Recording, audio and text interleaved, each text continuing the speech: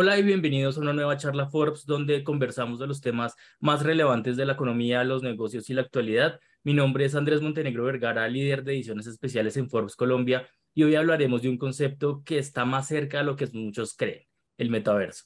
Y es que cuando se habla de nuevas plataformas y oportunidades digitales, el metaverso es solo una de las variantes que ya están al servicio de las organizaciones y de las personas que son finalmente las que pues van a usarlo todos los días y las que van a validarlos en la vida real. Solo hace falta ver eh, el uso de plataformas como la realidad virtual, la realidad aumentada, el uso de avatares, en los videojuegos o la gamificación, la capacitación de entornos virtuales eh, e incluso el acceso y construcción de bibliotecas interactivas y la gestión del conocimiento y las múltiples herramientas que existen para el marketing digital que cada vez están más enfocadas en las necesidades del usuario y justamente en entregar una experiencia de valor y que sea mucho más especial que lo que hemos vivido antes. En el caso específico del metaverso, la idea de tener un yo alternativo dentro de un mundo, digamos, virtual, parece aún sacado de la ciencia ficción, pero lo interesante es que ya existen soluciones que están muy en línea y que se presentan como unas oportunidades casi que inmejorables para esas organizaciones que sepan sacarle provecho desde ya.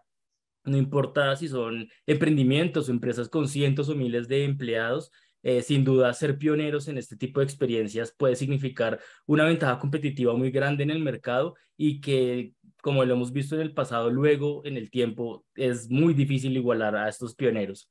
Aún así, pues hay retos muy interesantes de cara al uso masificado de este tipo de herramientas tecnológicas como el metaverso. Por ejemplo, por solo por nombrar algunas que exploraremos en esta charla hoy, como la falta de conocimiento, de talento humano que se encarga de ese enorme andamiaje tecnológico detrás e incluso la falta de apoyo o confianza de los líderes para ese cambio de mindset organizacional que sin duda son clave para la adopción de nuevas tecnologías. Y para hablar de este tema y tener más y mejores luces sobre el metaverso, hoy nos acompaña Francisco Suárez Cano, es CEO de Prime Digital Consulting, una empresa de innovación disruptiva con gran foco en el metaverso, en el marketing digital, de una, que sea de una forma fácil, rápida, económica, satisfactoria y exitosa. Francisco, gracias por acompañarnos en esta charla. Andrés, muchas gracias por la invitación y bueno, pues aquí estamos para hablar de este tema tan interesante que además me apasiona. Francisco, me gustaría empezar nuestra charla con algo clave. Digamos que Prime Digital es fácilmente una consultora pionera en este tema en el país e incluso me atrevería a decir que de la región. Así que quisiera saber qué tan abierto ven ustedes el mercado de Colombia y de la región para adoptar soluciones del metaverso en lo empresarial y pues que caminemos hacia ese objetivo que sea la masificación de las herramientas. Bueno, mira, yo creo que esto es una construcción y yo la comparo como cuando tuvimos eh, la primera experiencia de Internet, en donde sonaba el pitico de pi, pi, pi, pi, pi, pi, que pues nos tocó a muchos de la generación. Tú estás bastante joven, pero aquellos que superamos los 31 años, eh, tuvimos una experiencia diferente con respecto a esto. Y digamos que las primeras barreras que se empiezan a presentar o digamos las posibilidades que se tienen es cuando las personas primero se acercan a las tecnologías, las comprenden, las experimentan y todo su sistema creativo empieza a decir cómo lo va a poder empezar a aplicar dentro de su organización, sea para sus clientes internos o sea para sus clientes externos. Entonces, creo que facilitó un poco, digamos, a nivel de medios y de comunicación el hecho de que el año anterior, pues, eh, hubiera salido Facebook a decir eh, acerca de Meta y haber colocado un término que ya existía desde el año 1991. O sea, ya llevamos muchos años hablando de esto y llevamos muchos años hablando de Revolución 4.0. Entonces, dentro de esto, eh, todo el mundo estaba hablando de estas tecnologías, pero nadie lo consideraba como tan cercano. Especialmente, lo voy a decir también con total claridad, porque las personas que toman decisiones en las organizaciones usualmente están superando los 31 años, los 40 años, y esas tecnologías no eran tecnologías nativas, no pertenecían desde sus épocas o desde sus infancias.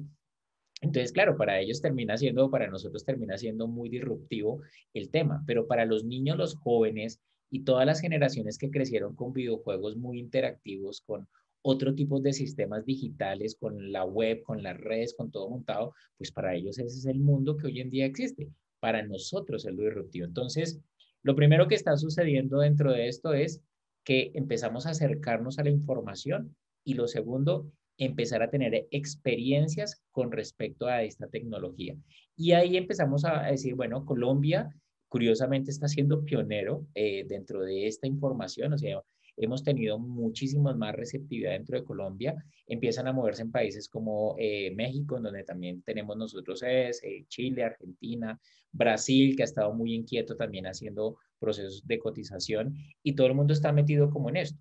Países ya como, eh, digamos, o regiones como, como Europa están un poco ya más avanzados frente al uso de estas herramientas. Las grandes multinacionales y corporaciones están usando ya herramientas que, que, hablaremos sobre cuáles son esos tipos de herramientas. Pero creo que estamos en esas fases. De hecho, decíamos, fase cero es cuando no tengo conocimiento, fase uno cuando tengo algo de conocimiento y fase dos cuando, además de tener conocimiento, empiezo a tener una experiencia con estas herramientas. Entonces, ahí estamos en toda esa, digamos, eh, apertura eh, dentro de lo que está sucediendo a nivel organizacional en Colombia y en América Latina.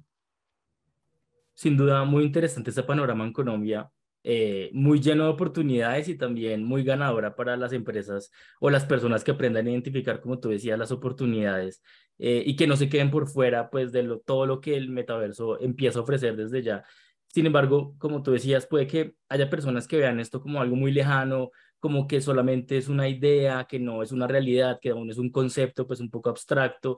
Eh, y justamente quisiera abordar eso último que nos decías, Francisco, y es que nos contaras cuáles son las herramientas digitales aliadas del metaverso que ya están generando beneficios al interior de las empresas. Por ejemplo, Prime habla de algunas como las plataformas, las aplicaciones, la gamificación, el intranet, bueno, una gran cantidad que son bien interesantes que, que podamos abordar y que la gente sepa que, pues, que ya existen, que ya están disponibles un poco. De hecho, nosotros ahí hemos colocado como unas fases de inversión, pero Andrés, esto básicamente está relacionado a la revolución 4.0. O sea, cuando se hace todo, digamos, la posición de revolución 4.0, empiezan a aparecer unas tecnologías, como las que tú acabas de mencionar, como realidad aumentada, realidad virtual, inteligencia artificial, big data, el, el, el, el iCloud, ¿sí? Eh, la robotización, la inteligencia de procesos, el Internet de las Cosas, que son como las tecnologías con las cuales venían. Lo que sucede es que esto es como por olas, ¿no? A nosotros nos llega por olas. Y claro, nos llega la ola de, eh, pues, del COVID. Y esto hace un sistema de potencialización y decir, ok, el mundo digital y el mundo virtual tiene un campo de acción para poder mover mis negocios, mis relaciones y absolutamente todo. Pero nos mueve, digamos, a una generación tardía, que es lo que yo hoy en día estoy diciendo. Ahora, ¿Cuáles son estas tecnologías que han venido teniendo impactos importantes? Los videojuegos empezaron, a mí me tocó desde el Atari 2600, de la palanquita y el botoncito, pero eh, eso siguió en todo un proceso de desarrollo y es uno de los mercados más grandes hoy en día de tecnologías. O sea, son miles de millones de dólares que se mueven a través de los videojuegos.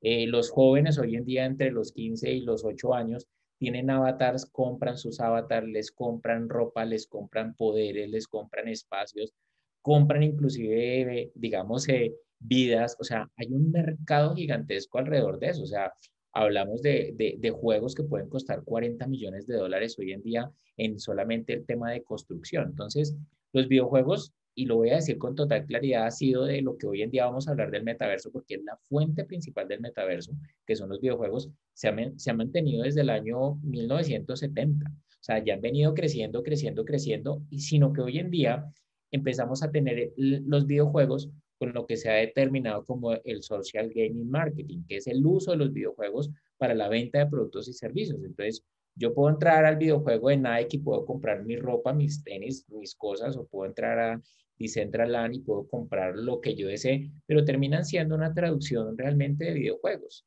De videojuegos en donde yo lo que voy a hacer es transacciones y relaciones y obviamente la va a pasar wow, me va a divertir y demás. Entonces, videojuegos, tengo que decir lo que es la transversal que ha venido. Se desarrollan otras tecnologías como la realidad aumentada, que tiene que ver con algo que existe en el mundo físico y yo a través de mi celular o de mi tablet le coloco una información adicional. Entonces, aumento algo que está en el mundo real y lo aumento. Y esto ha funcionado de una manera maravillosa para las industrias, para, por decir algo, generar procesos de mantenimiento en equipos, ver estándares de equipos, armados de equipos. O sea, en la industria ha sido algo de muchísimas, eh, digamos, potencialidades, inclusive para, para centros de almacenamiento, para saber en dónde colocan las cosas, se ha utilizado la realidad aumentada muy bien. Y hoy en día, inclusive para turismo. Entonces, tú ya vas, por decir algo, eh, a Roma y puedes estar, digamos, en, en, en una de las plazas importantes y simplemente abres tu app de realidad aumentada y ves cómo eran los edificios en la antigüedad o ves cómo funciona, digamos, los cafés o, o los lugares, que es algo también que ha sido muy poderoso hoy en día a nivel de realidad aumentada. Viene la realidad virtual, que ya la realidad virtual tiene gamas. Entonces, el, que, el más conocido es el videojuego, porque tú lo puedes hacer desde el celular, creas un avatar, que eso me encantaba lo que tú decías, entonces es la simulación, pero date cuenta que la primera simulación del avatar está desde el videojuego. Desde ahí es donde empieza a aparecer ese concepto del avatar. Entonces yo puedo tener realidad virtual, un showroom, por decir algo, una página web mía de la compañía, en donde mis clientes pueden entrar, escoger sus avatares y recorrer las oficinas virtuales que yo tengo, o centros de convenciones o ferias que están desde ahí. Y empiezan a aparecer las gafas de inmersión. ¿sí? Hoy en día hay gafas de inmersión que me permiten tener controles y cosas para poder tener experiencias de armados. O inclusive las Carboard, que estas son ya gafas de, cartoncito que, por decir algo, son muy económicas, en donde utilizo el celular y empiezo a tener una experiencia de realidad virtual inmersiva. Aparecen otros elementos que venían ya con algún tiempo, Andrés, por decir algo, las bibliotecas de gestión del conocimiento, que eran los cursos virtuales subidos en plataformas virtuales. Y bueno, la pandemia pues también se los aceleró y porque pues, las empresas tenían que hacer formación y entrenamiento. Entonces, bibliotecas de formación también venía siendo como otro elemento y todo lo que tenía que ver con transacciones muy fuertes hoy en día los NTFs, o sea, el tema de la propiedad intelectual dentro del mundo digital y virtual y pues las criptomonedas y toda esa, esa economía transversal. Entonces, todo eso hoy en día tiene eh, lugar y tiene lugar y te lo voy a decir por qué. Porque nuestros jóvenes, todas las personas, en promedio la edad en Colombia es de 31.5 años. Desde ahí para abajo ya todos son jóvenes. Entonces, esa es la gran masa de la población hoy en día esperan encontrar en las empresas todas estas herramientas que han disfrutado desde cuando eran niños, no solamente para trabajar, sino también para consumir, para relacionarse. Entonces, esa es la gran migración y por eso empieza a tener cabida todo esto. Entonces, toda esta tecnología está siendo absolutamente posible desde los nuevos dispositivos celulares o desde las tablets, de los computadores y desde todo el incremento de la capacidad del Internet. Por eso necesitamos G5. Pero, pero ahí está en uso y en uso para el marketing, eh, hasta donde no más para poder mostrar productos y servicios, generar experiencias de usuarios y de compradores, generarles una experiencia activa que es de lo más poderoso que podemos hacer con una marca y también para las empresas internamente para sus empleados. Procesos de formación y entrenamiento a través de videojuegos, capacitaciones y temas con realidad aumentada, eh, eh, mostrar productos y servicios con este tipo de herramientas es absolutamente poderoso y es completamente viable y cada vez más económico. Francisco, quizás uno de los objetivos de Prime Digital que ha quedado muy claro y que para los que seguimos un poco su trabajo creo que lo entendemos y es muy interesante y es la masificación de esto, como que justo lo que nos acabas de decir es un panorama bastante amplio con una cantidad de oportunidades y una oferta robusta, pues no son, no son pocos los productos disponibles. Eh, sin embargo, Francisco, quisiera saber, en ese trabajo que ustedes han hecho, ¿cuáles son esas principales barreras que han identificado para que las soluciones se masifiquen? Por ejemplo, lo que tú decías ahora, justo último, los costos, la falta de conocimiento, la falta de asesoría, consultoría, como, ¿cuáles son esas barreras principales que han identificado para que tenga más cabida pues estas herramientas que ya existen? Mira, creo que la primera es el desconocimiento y la falta de experiencia.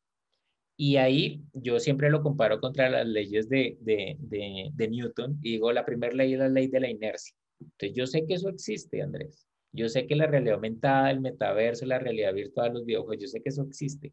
Pero como yo no lo uso, yo creo que el resto del mundo no lo usa. Y el resto del mundo lo que tenemos que entender es que son poblaciones jóvenes que sí lo vienen usando y que para ellos es nativo. Entonces, esa es la primera barrera, el poder colocar y entender que estoy en un estado de inercia, que tengo que moverme, que así yo no lo use, mis compradores y mis empleados sí lo están usando y lo van a usar. Entonces, es como la primera parte.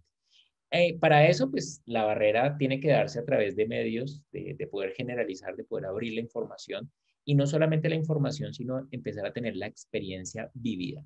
O sea, que yo tenga la posibilidad de colocarme unas gafas de realidad virtual, que yo tenga la capacidad desde mi celular abrir realidad aumentada, que yo abra un videojuego que de pronto no he jugado yo hace 20 años, ningún videojuego, pero que abra un videojuego en este momento y lo mire cómo pedagógicamente, como a nivel de relacionamiento de marca puedo utilizarlo, que entre a un curso virtual, que tome una formación de esas y bueno, ¿por qué no decirlo? Que tenga una cuenta dentro de los nuevos metaversos. O sea, hay metaversos existentes porque no tengo cuenta en Roblox, en Disneyland, en Second Life o inclusive en la misma, en el mismo showroom de Prime Digital Consulting que tenemos un micrometaverso. Entonces, ahí va esa, esa parte de la acción que sería lo segundo que tendríamos que tener. Lo tercero es el costo. Eh, cuando yo hice el primer congreso sobre eh, Revolución 4.0 hace cinco años, Andrés, las gafas que llevamos valían 6 millones 200. Para un auditorio de 80 personas podemos llevar una sola. En este momento, unas gafas que pueden estar en precio de 25 mil, 30 mil pesos me permiten tener la experiencia de realidad aumentada. Entonces, el costo ha venido cayendo de una manera importante y eso nos permite a nosotros masificar. El tema del desarrollo de las apps, por decir algo, ha bajado considerablemente. Hoy en día pueden costar entre el 15 y el 20% a lo que costaban hace tres años. El desarrollo de videojuegos, el desarrollo de las plataformas necesarias para realidad aumentada, realidad virtual. Entonces, en este momento, la barrera del costo es una barrera completamente posible, eh, Andrés. O sea, lo que sucede es que como están teniendo temor, hay desconocimiento y ya viene la otra parte, oferentes. Entonces, ese puede ser una barrera importante, que es sobre lo que nosotros hemos venido tomando pues mucha ventaja, como te decía, pues nuestra primera universidad virtual la fundamos hace 12 años y empezamos a trabajar todo el tema de Revolución 4.0 hace 5 años y pues lo trabajamos con nuestros clientes y tenemos clientes muy grandes y corporativos que tienen estas herramientas, pero las pymes, que es donde, eh, donde nosotros vemos que está toda la gran necesidad, porque ni siquiera es una oportunidad, es una necesidad, o si no la brecha y van a quedar por fuera del mercado que fue lo que sucedió en pandemia a los que no tenían páginas web o entregas a domicilio. Morían, o sea, básicamente morían. Entonces, aquí el tema es cómo les acercamos eso. Entonces, los costos hoy en día están siendo accesibles, o sea, yo puedo sustituir mi página web por un micrometaverso o poder desarrollar una experiencia de un folleto o algo desde realidad aumentada y empiezan a ser equiparables ese tipo de costos. Pero las empresas que desarrollan todavía son muy pequeñas, todavía eh, empiezan a aparecer empresas de desarrollo, empresas que empiezan a generar eh, procesos, digamos, de, de, experiencias como estas. Y hay pocas que tienen, por decir algo, bagajes como los de nosotros a nivel de formación, entrenamiento, consultoría muchos años.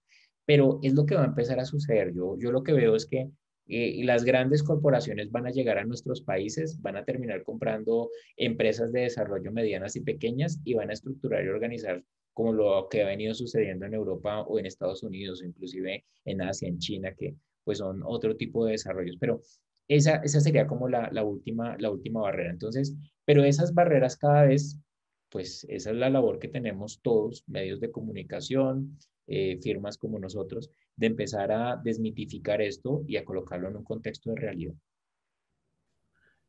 Sin duda, uno de los objetivos nuestros con estas charlas, y lo estaba pensando justo con la respuesta que nos dabas, es que quienes nos acompañan no solo se actualicen y sepan lo que está pasando, sino que incluso se identifiquen con lo que los invitados cuentan o vean que es, ahí está un poco la solución a esos problemas que ellos mismos ya han identificado.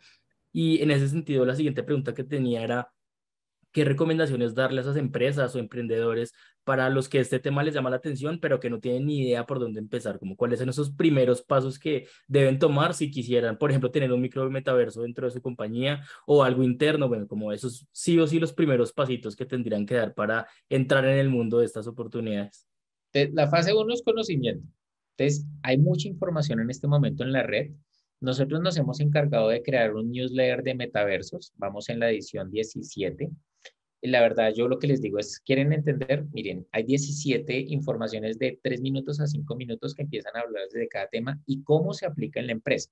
nos hemos encargado de hacer un trabajo, y eso lo hemos hecho desde nuestra oficina de México, de estructurar muy bien la información para hacerla digerible, entendible, de que sientan que realmente está sucediendo y quiénes lo están aplicando, como para que se motiven. Entonces, lo primero es entender, ah, venga, qué realidad aumentada, qué realidad virtual, qué es un micrometaverso, qué, qué es un videojuego, cómo funcionan. O sea, eh, poder entender cómo esas tecnologías. El siguiente punto será, ¿qué es lo que yo puedo empezar a aplicar en mi empresa? Lo básico y lo elemental. Entonces, digo, lo primero que debería intentar hacer sería con mi logo un tema de realidad aumentada. Que la gente cuando proyecte el logotipo de mi compañía, pues vea un avatar o vea algo adicional y genere una experiencia desde mi marca. Eso sería una cosa mínima. Lo segundo, sí, dependiendo del tamaño de mi compañía, debería formar y entrenar a mi equipo con cursos virtuales. Hay en día, hoy en día, N cantidad de plataformas. Bueno, nuestra plataforma se llama Prime Academy, pero debería tener para acercarlos también a ese entrenamiento y formación virtual. Lo siguiente que debería y podría tener sería un videojuego, sea un videojuego de inducción en la compañía o de productos y servicios o de algo relacionado con mi marca o mi producto, inclusive para mis compradores, eh, algo que podría ser divertido, que podría ser eh, de una u otra manera adictivo con respecto y con relación a mi marca. Y el showroom, que es la sustitución de mi página web, ¿cierto? Que de eso ahora tenemos una nominación por ese showroom que hemos desarrollado, es bueno, es empezar a cambiar nuestras páginas web en escenarios en donde yo tengo mis productos y servicios y cuando alguien se linkee a mi página web, entre a mi página web, pueda seleccionar mi avatar y pueda hacer un recorrido. O sea, eso ya vendría en, ese nivel. Y estar preparados ahí a lo que va a suceder, que son los metaversos ya interconectados, que eh, Andrés, si me lo permite, sucedió algo muy interesante en junio del, del mes pasado, en el mes de junio, el 26 de junio, se reúnen las 30 compañías de tecnología más grandes del mundo y determinan un estándar de desarrollo y de creación de metaverso. Esto es fundamental porque ya dan una línea de cómo vamos a estandarizar en el mundo el desarrollo del metaverso y obviamente empiezan a hablar de lo que se espera en el 2023, en el 2025, para que todos estemos incluidos. Entonces, serían como los pasos que tendríamos que empezar a dar. Sí, muy, muy, muy clave eso de la estandarización, pues como para tener una experiencia un poco, no uniforme, pero pues bajo unas mismas reglas de juego de alguna forma.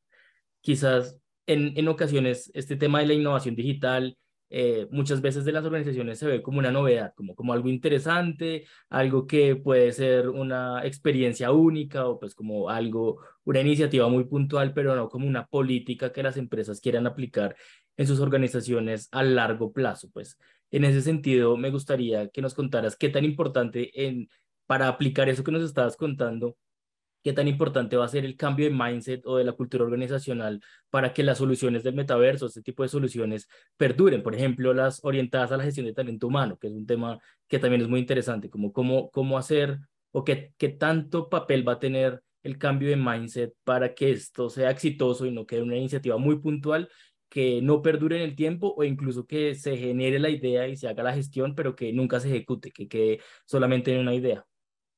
Sí, el punto es, yo, yo lo primero que siempre invito es reconozcan quiénes son los habitantes del mundo hoy. Porque nuevamente lo que te decía Andrés, o sea, la media de las personas que administran son dueños eh, directivos de las compañías, eh, son personas que superan un estándar de edad. Pero eh, son la minoría, o sea, realmente ya poblacionalmente terminamos siendo la minoría con respecto a la población. Entonces, lo primero es reconozcan la población. Sobre esa población que de hecho se dictaron talleres, conferencias de los millennials, centennials, de cómo cautivarlos, o sea, pero bueno, hablen acerca de ellos y de cuál es su relación con la tecnología y qué los que esperan con la tecnología, porque ahí es donde viene. Los que no se muevan, las compañías que no se muevan en una modernización digital, en un onboarding digital, simplemente antes van a desaparecer. O sea, así de sencillo. Dependiendo, obviamente, hay mercados o hay tipos de negocio que van a estar siendo mucho más susceptibles y van a desaparecer más rápido, otros menos. Pero, eh, pero esto no es ni siquiera una tendencia. O sea, esto hace parte de la realidad, de lo que hoy en día nosotros tenemos. Es como si en este momento, pues Andrés, tú eres bastante joven, pero pues yo no tuve mi portátil hasta cierta edad o no tuve un celular hasta cierta edad. Pero hoy en día estas generaciones, esto es fundamental, esto es básico, o sea, es como tener un portátil, como tener un celular. Estas son estas nuevas tecnologías. Así de fundamentales van a ser. Entonces, las culturas corporativas tienen que migrar a esos onboarding digitales, sí o sí, o si no van a desaparecer, o sea, no hay opción. La manera en la cual se va a sostener esto va a ser por plena, plena, plena, eh, digamos, eh, eh, desnate de lo que va a empezar a suceder a nivel tecnológico, porque pues si yo no tengo en este momento 5G, por colocarte un ejemplo, pues no voy a poder correr ninguna de estas tecnologías. Si mi celular no es de última generación, pues no voy a poder correr estas tecnologías y quiere decir que estoy por fuera de lo que realmente es el sistema de comunicación, el sistema de relacionamiento, el sistema de negociación. Entonces, pues me va a quedar por fuera del mundo, tan sencillo como es sí, pues sí, como que todo lo que hemos hablado nos da un contexto mucho más aterrizado del metaverso y de qué tan cercano está realmente las personas y a las empresas con las aplicaciones reales que hemos hablado. Quisiera que nos contaras, Francisco, puntualmente en el caso de Prime Digital, pues qué soluciones ofrecen, como si yo digo, bueno, yo necesito a alguien que me ayude, necesito como una guía que ya lo tengo un poco más claro, ustedes puntualmente como cuáles son esas soluciones que ya podrían ofrecerle pues a las, a las empresas que estén interesadas.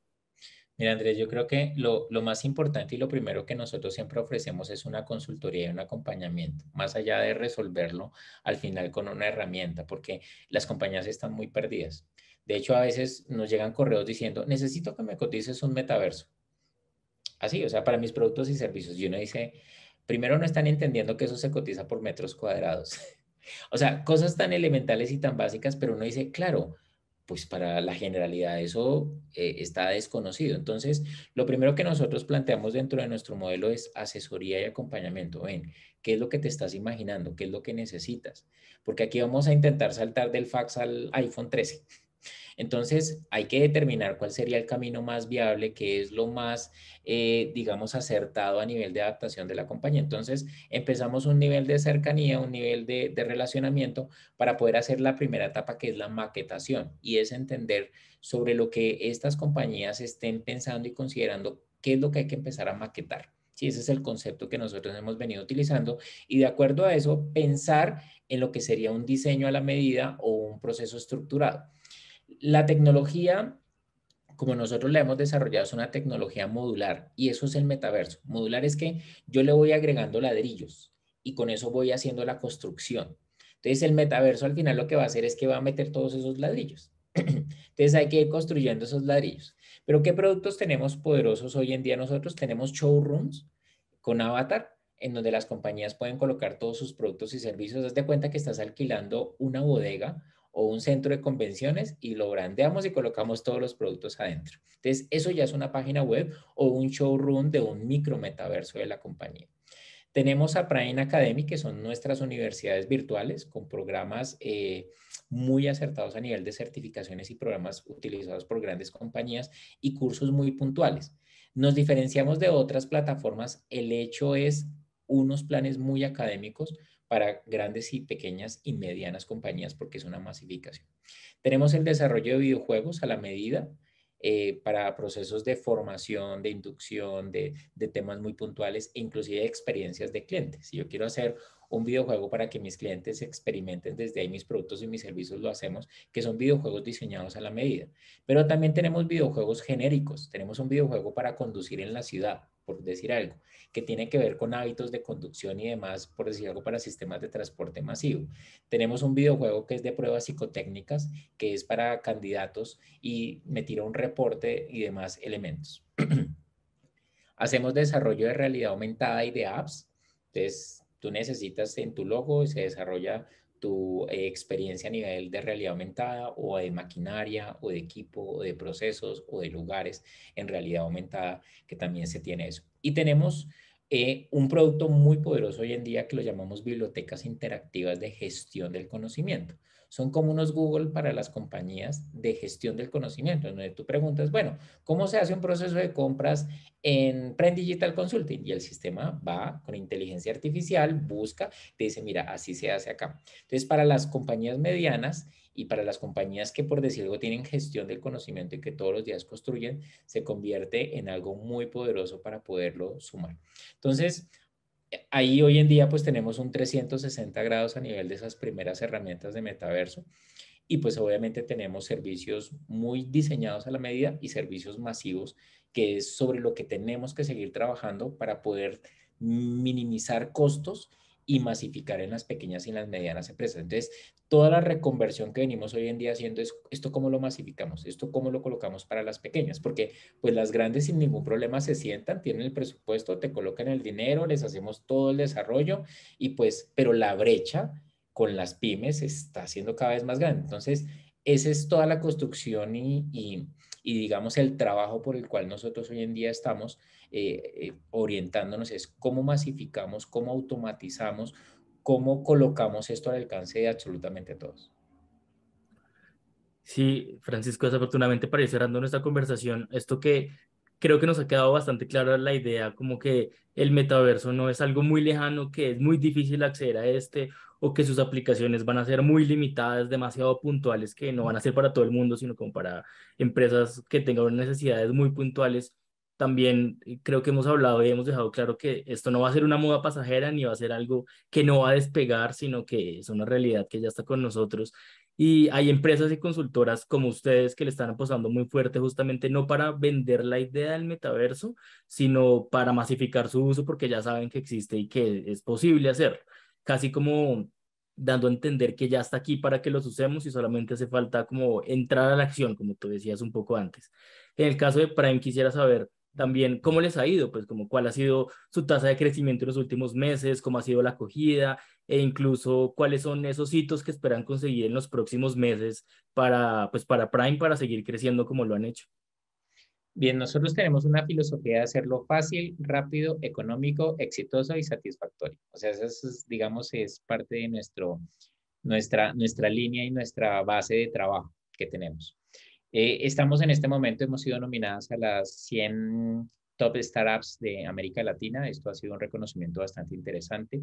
Hemos venido haciendo congresos masivos muy grandes con muchas acogidas, trabajando a nivel interinstitucional con cajas de compensación, universidades, cámaras eh, y bueno, otro tipo de organizaciones que lo que están haciendo es agremiando entidades para poder primero comunicar, eh, Andrés, porque ha sido como el trabajo inicial del, que hemos venido nosotros sirviéndonos. Entonces, hay una serie de alianzas estratégicas a nivel de Colombia y bueno, ya, ya estructurándose en América Latina para poder generar como todos estos volúmenes. Mm, nosotros, nuestro presupuesto del año 2022 con respecto al 2021 era triplicar las ventas, el cual estamos nosotros en este momento consiguiendo. Pero las expectativas, por decir algo, de crecimiento de nosotros para el 2025 es estar en toda América, en Europa y en África y digamos que hace parte como de la visión estructural de la, de la compañía.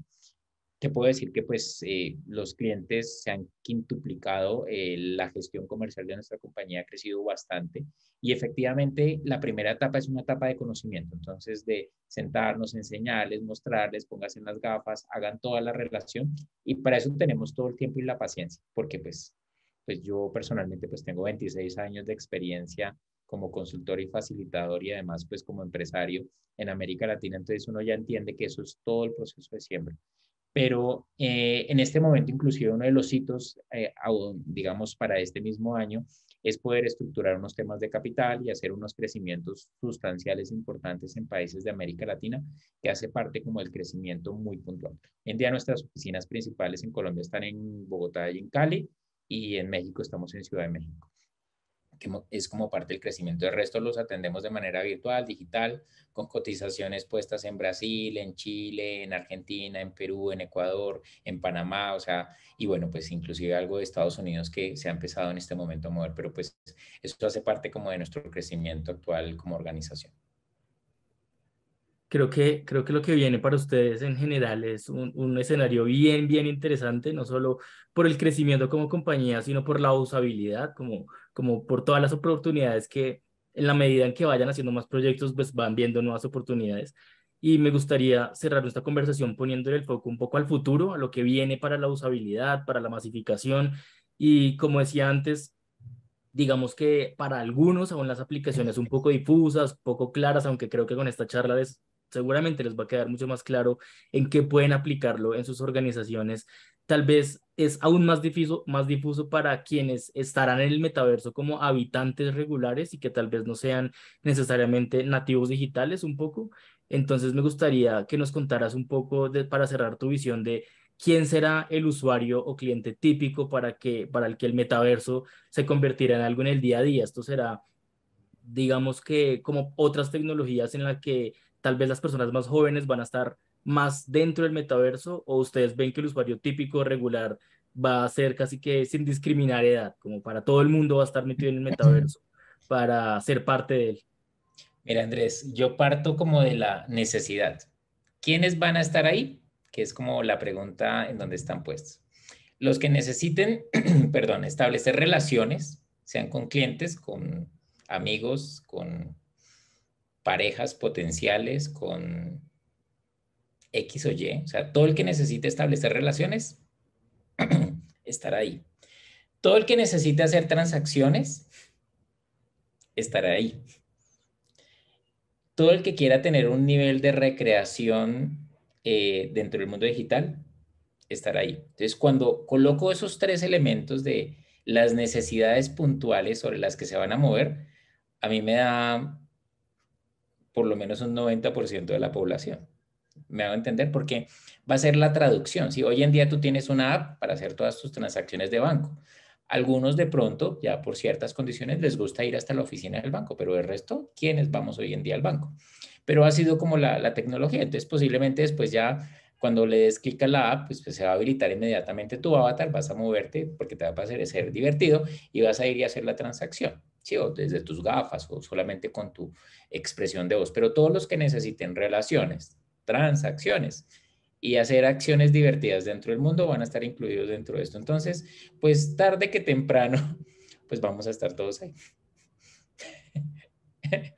Y sin duda, creo que estas, estas reflexiones que nos cuentan, pues nos pintan desde ya un futuro con muchas oportunidades eh, y muchos retos también. Creo que va a ser unos retos tecnológicos, pero también unos retos de apropiación del conocimiento, de mucha pedagogía para aprender a usarlo, pero al igual que otras tecnologías que hoy tenemos en, en la mano en este momento, creo que en el día a día y en la usabilidad, pues cada uno va a hacer las propias, pues dentro de, dentro de sus necesidades y encontrándole nuevas necesidades que tal vez cuando entró no los pensaba. Puede que yo quisiera entrar al metaverso por transaccionalidad, pero luego encuentro ahí un muy buen lugar para divertirme y resulta que empiezo yo mismo como usuario a, encontrar toda esa cantidad de oportunidades tan interesantes que nos has contado. Desafortunadamente, pues así llegamos al final de esta conversación con Francisco Suárez Cano, CEO de Prime Digital Consulting, Gracias una vez más por aceptar nuestra invitación para ser parte de estos espacios tan necesarios e interesantes e ir como conociendo más de este mundo que sin duda va a ser de lo que hablaremos y seguiremos hablando aquí en adelante. A ti, Andrés, y a Forbes, muchas gracias por esta invitación y bueno, esperamos estar en muchos más escenarios contándoles acerca de lo que viene sucediendo y cómo se viene transformando y cómo se viene implementando. Ahí estaremos con todos nuestros congresos y demás. Y de verdad, muchas, muchas gracias. Sí, Francisco, esperamos como volver a, reunirnos en otros espacios para seguir ahondando en este tema que es bien, bien valioso. Y a todos los que nos acompañaron, los invitamos a seguir conectados con los contenidos y eventos en nuestras redes sociales. Nos encuentran en Twitter, Facebook, LinkedIn, Instagram, seguramente pronto en el metaverso y en Force.co. Hasta la próxima.